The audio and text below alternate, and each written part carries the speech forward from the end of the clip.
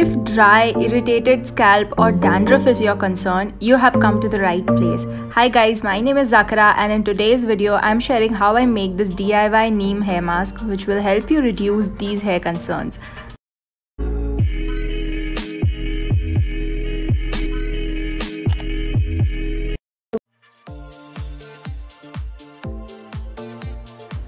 To make the mask, we are using yogurt. I'm adding about 2 tablespoons of yogurt. You can definitely use yogurt or curd. This will be a base ingredient for our hair mask. Next, coming to the hero ingredient, which is neem powder. You can use fresh neem leaves as well if they are available. The one I'm using is from Alps Goodness. I'm using 2 tablespoons of neem powder and next I'm gonna add almond oil. You can use any oil, you can use coconut oil, argan oil or olive oil as well. And lastly I'm going to add 1 spoon of honey and mix it all together to form a paste.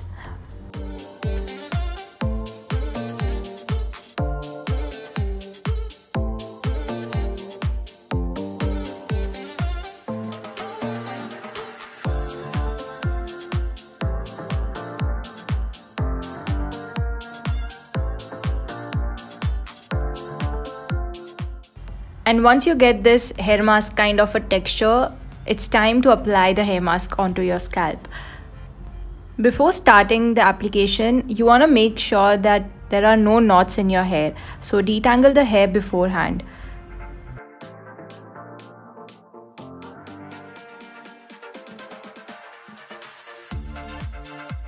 Next, using your fingers or a brush, you can start applying the mask on the scalp. Make sure you focus on the scalp more than the hair.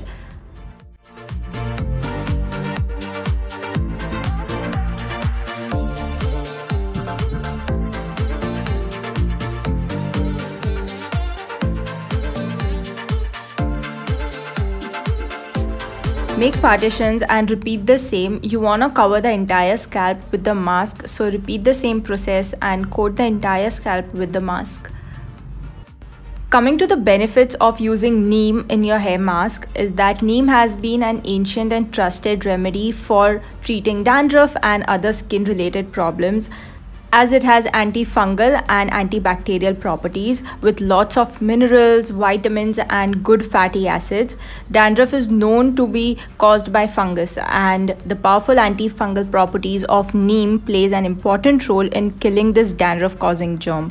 Not only this, neem also promotes hair growth and also saves your hair from premature graying.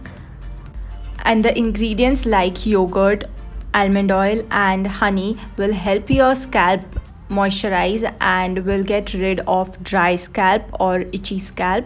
So that's the reason we are using all those ingredients. You can use this mask twice a week if you have severe dandruff or dry scalp. Also, you can store this mask for about 4 to 5 days in the refrigerator. So if you are watching this video until now, I'm guessing you're finding this video helpful. So please don't forget to hit the like button and subscribe. That will really motivate me to make more such content.